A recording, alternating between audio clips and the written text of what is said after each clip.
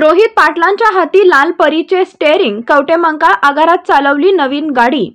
माजी गृहमंत्री स्वर्गीय आर आर पाटील यांचे सुपुत्र. तथा यशवंतराव चव्हाण प्रतिष्ठानचे सदस्य राष्ट्रवादी काँग्रेसचे युवा नेते रोहित पाटील यांनी स्वातंत्र्यदिनी सांगलीच्या कवटेमंका आगाराच्या नवीन बसचे सारथ्य केले.